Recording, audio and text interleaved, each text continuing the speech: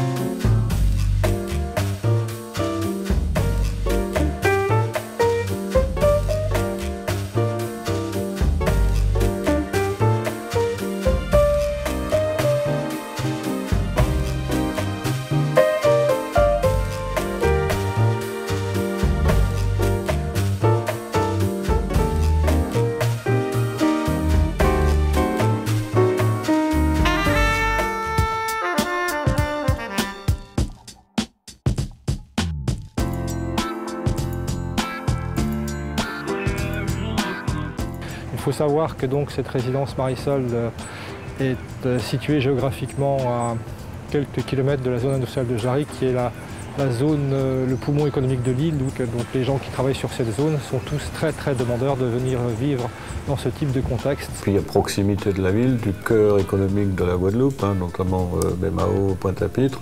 Donc vous avez une situation exceptionnelle. Et puis vous êtes, à 10 minutes de l'aéroport, vous êtes à 10 minutes des centres de décision de la Guadeloupe.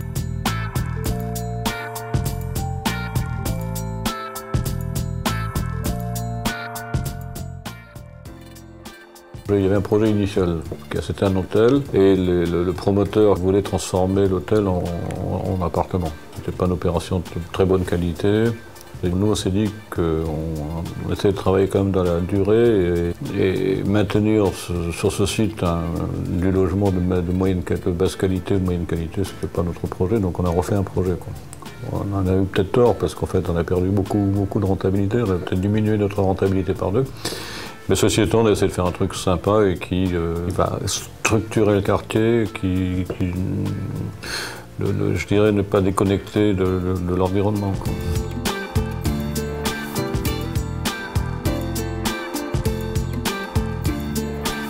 Nous sommes sur le site du Marisol où euh, sont réceptionnés, euh, sont réceptionnés actuellement 160 lots qui sont tous destinés à la location dans le cadre de la loi de défiscalisation. Donc on rencontre plusieurs types de logements allant du T2 au T5.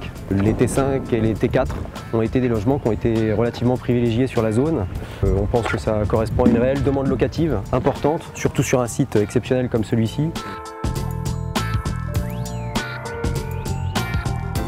Nous avons une demande locative euh, importante et, euh, nous avons donc des listes d'attente de, clients qui sont en attente des réceptions de, tous ces lots, ce qui démontre la qualité du, produit par rapport à ce qui existe sur l'île.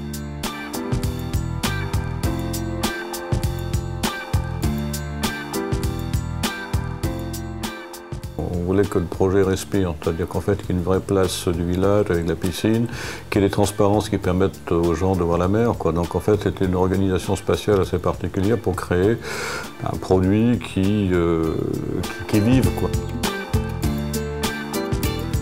Ce qu'on imaginait aussi, c'était euh, habiter dans un lieu où le matin, euh, eh ben, s'il y a un brin d'air, on puisse prendre sa planche à voile ou son kitesurf pour aller tirer deux trois bords avant d'aller travailler. Alain, euh, bon, c'est d'abord un ami, hein. ça fait, euh, je sais pas, euh, depuis 1987 que je connais Alain Crède, donc il prend en charge la commercialisation, nous on prend en charge la construction et la finition. Ça se passe de manière intelligente et bon, on espère continuer cette coopération sur d'autres projets.